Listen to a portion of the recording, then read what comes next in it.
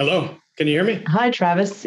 Yep. Nice to see you. We also saw each other recently at the BMO conference. That's right. We did. Yeah. But yeah, great, great to have you present again. I think you've done a couple sessions with us in the past, but maybe you can give us a bit of an overview of what next gen energy is. And I believe that you're getting pretty close to finishing your permitting. So maybe we can get an update there. Sure. Yeah. Um, I'll skip all the uranium. I'm sure everyone on this call is aware of what's going on, but demand's way outpacing supply, and that's going to persist for a long time. Look, Arrow, what we're developing, we own 100% of it. We discovered it, grassroots exploration led to the discovery back in early 2014. You know, long period of time from 2014 really to where we sit today of, you know, as a lot as you have to do, a lot of uh, drilling, defining, refining, you know, growing a resource, understanding more about it, doing all the studies around metallurgy, geotechnical, hydrogeological, everything, you know, stakeholder engagement all through the period.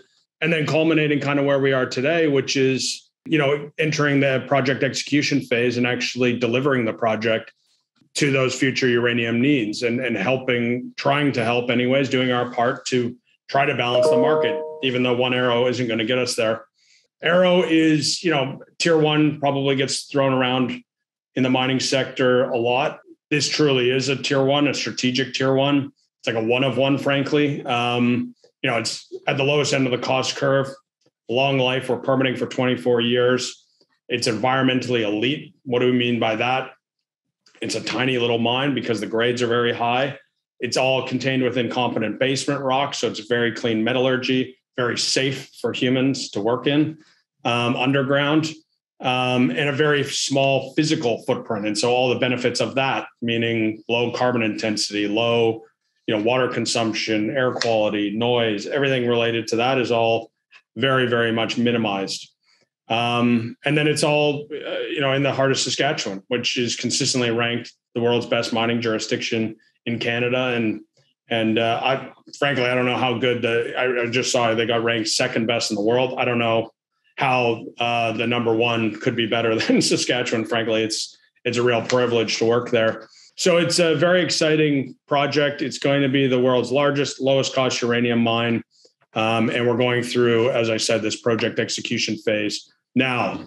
You know, like um, Tim and Jord, um, you know, having projects and developing projects like these being uh, controlled by commercial um, public companies, diversified commercial public companies like you know ISO, Skyharbour, and ourselves.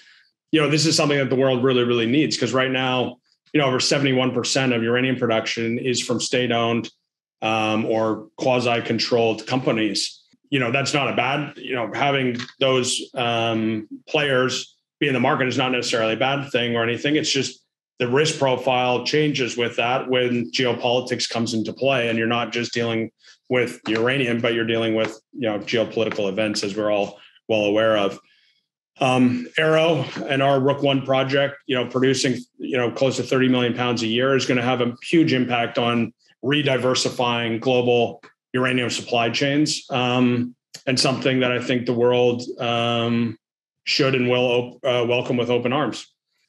In terms of what we're talking about, um, in terms of the specifics of these economics and why it's such a you know strategic tier one type asset well you know at, at spot pricing today you're talking about a four and a half billion dollar after tax npv an irr similar to you know an oil well not really a mine in terms of like 60% irr and then you know it's going to cost us a billion three to put it into production.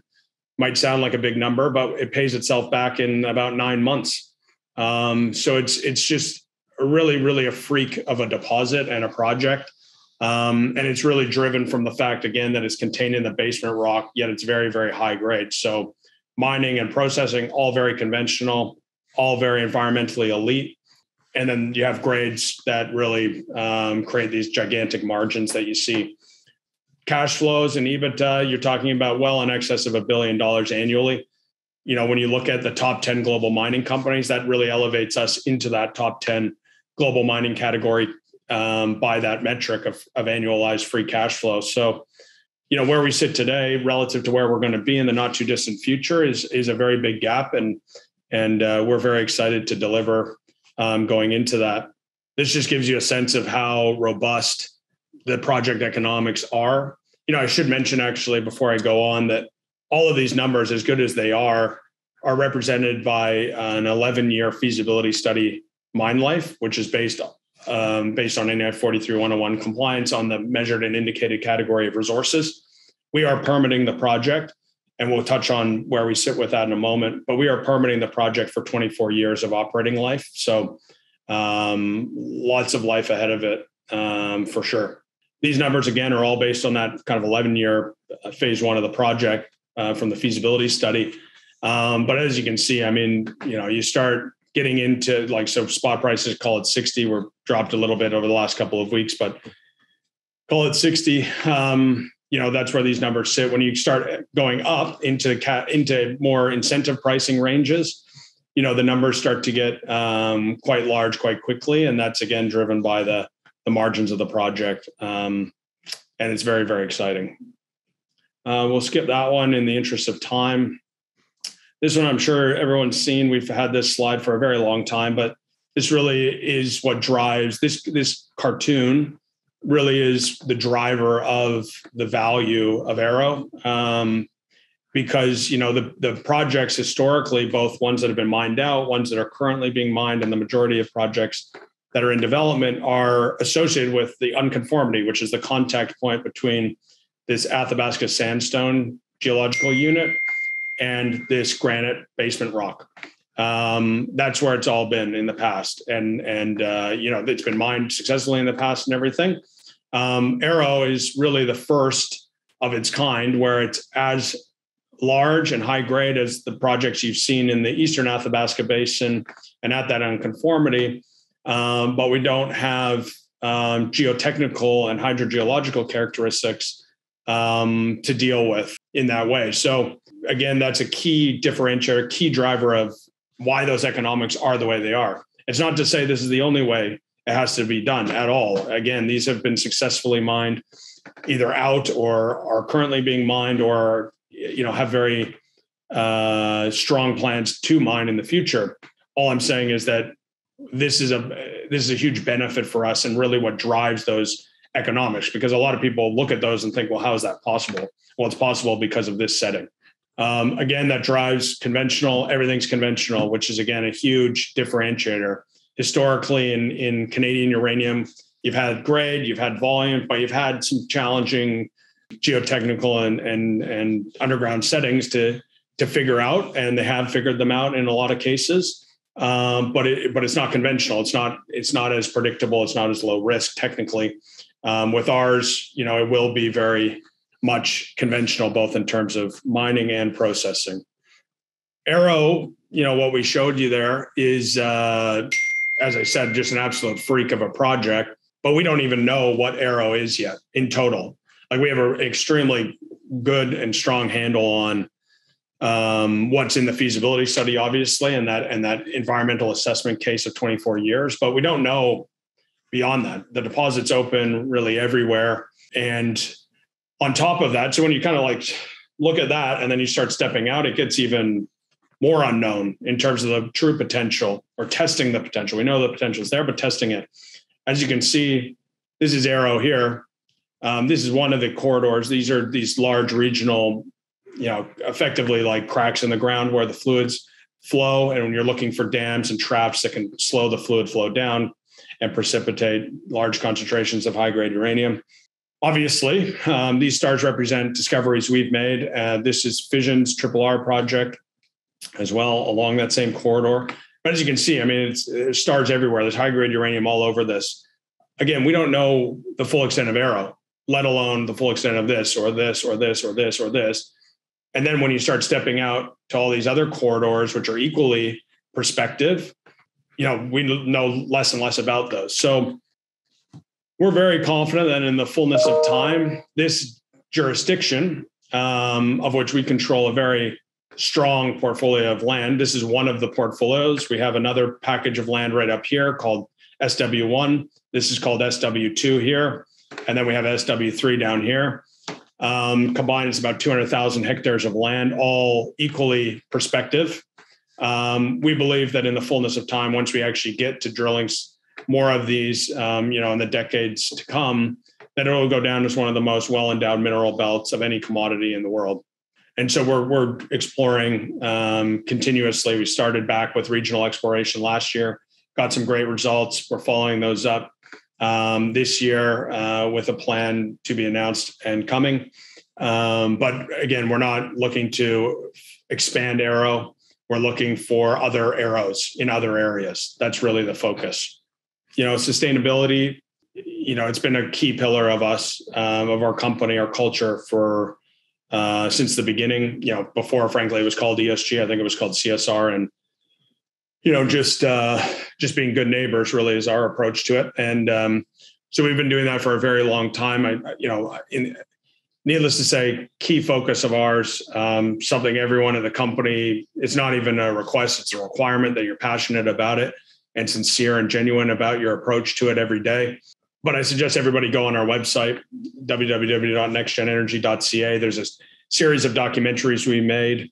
A few of them actually won some Cannes Film Festival awards um, for um, the one on Dene language as an example. So I suggest you go on there, watch them. They're not super long, but I think it's a really excellent window on you know the communities um, that we partner with, as well as our approach to um, the communities.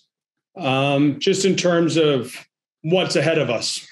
So on the project development side, we're completing what uh, what's called front end engineering design feed.